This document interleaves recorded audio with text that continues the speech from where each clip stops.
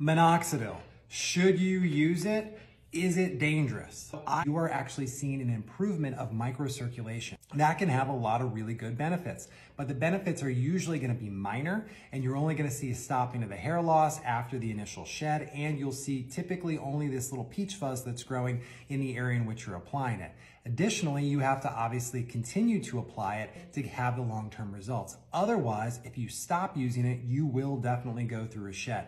Typically that shed will occur after discontinuing the use of minoxidil as early as two weeks, but definitely after 90 days. And after 90 days, you will typically go back to where you were when you started the use of minoxidil or where you would have been if you never used minoxidil. So you should use that in tandem with other items. And realistically, minoxidil, in my opinion, is not dangerous. It is something that when you use it properly is going to be a huge benefit to your hair growth